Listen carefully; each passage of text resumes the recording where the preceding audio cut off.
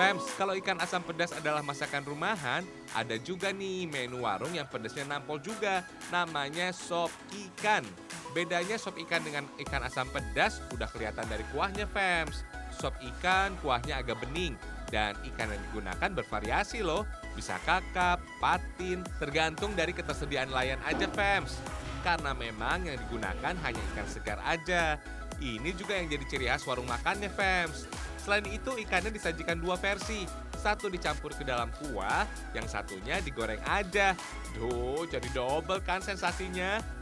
Eh iya, sop ikannya ada level rasanya loh. Kalian yang suka makan pedas pasti cocok banget nih makan di sini. Rasa pedasnya bisa sampai tenggorokan, fams. Ditambah lagi pakai sambalnya. Wih, makin mantap deh. Ya ampun, coba lihat deh. Lahap banget ya makannya. Jadi bikin pengen. Hehehe. Nah, daripada jauh-jauh ke Singkawang, mending kalian coba bikin di rumah ya.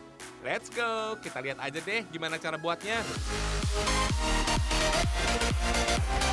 Bahan utamanya jelas ikan laut, fams. Untuk membuat sop ikan, sengaja nggak pakai ikan air tawar karena cita rasanya berbeda. Kalau bumbunya sih hampir sama, cuma ditambahin daun temurui dan juga asam jawa, fams. Oke, kita mulai ya. Tumbuk bawang merah dan bawang putihnya dulu. Tambahkan garam sedikit.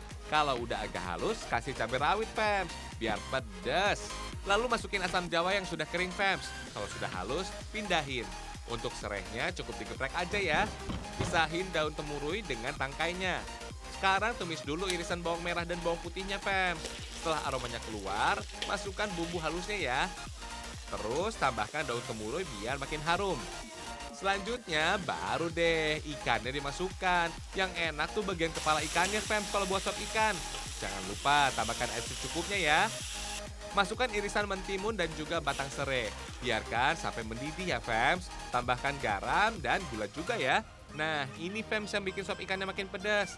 Bubuk merica dan bubuk cabe. Taburkan secukupnya ya. Semua tergantung permintaan kalian nih. Mau seberapa pedas sopnya. Sambil menunggu matang, kita goreng bagian badan ikannya. Ini juga yang jadi keunggulan warung makan ini, fams. Double sensasi rasa ikannya. Udah matang nih fam sop ikannya. Wah, kalau udah kayak gini siap deh untuk disajikan. Sop ikan singkawang memang terlihat mirip pindang Sumatera atau kuah asam dari timur.